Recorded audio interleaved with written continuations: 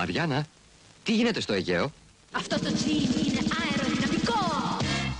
Αντέχει. Ξεβάφει. Το λένε Ίνδικο Αιγαίο.